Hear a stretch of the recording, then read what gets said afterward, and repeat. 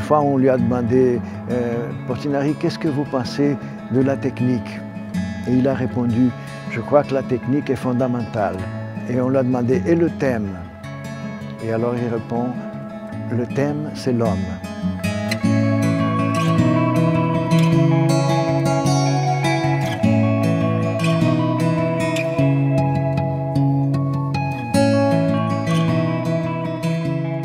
Il a eu un, historien de l'art qui a dit euh, aucun peintre n'a peint un pays autant que Portinari a peint le sien. Euh, quand il a eu 15 ans, il est parti à Rio de Janeiro pour faire ses études à l'École nationale de beaux-arts. Alors euh, il y avait un salon qui se tenait toutes les années et qui était la grande opportunité pour un jeune peintre de commencer sa carrière parce que le premier prix, c'était le prix de voyage en Europe.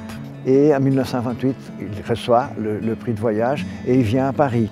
Il y a un processus psychologique, je crois, ou, émotionnel, d'une crise existentielle qui s'installe chez lui et il commence à penser au Brésil.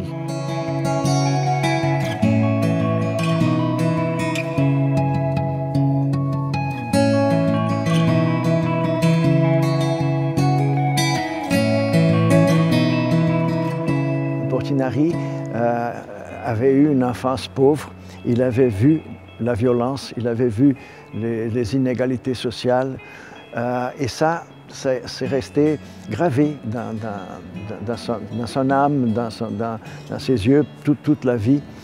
Les grandes questions éthiques et sociales euh, et humaines, c'est ce qui l'intéressait. Une fois, on m'a demandé quelle est l'unité dans l'œuvre de Portinari. Et je me suis surpris en répondant, l'unité c'est l'émotion.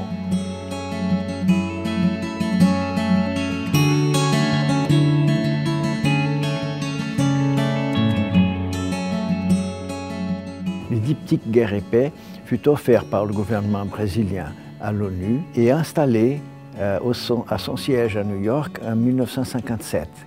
Il est présenté ici au Grand Palais pour la première fois en Europe avant d'être réinstallé définitivement à l'ONU en fin de cette année.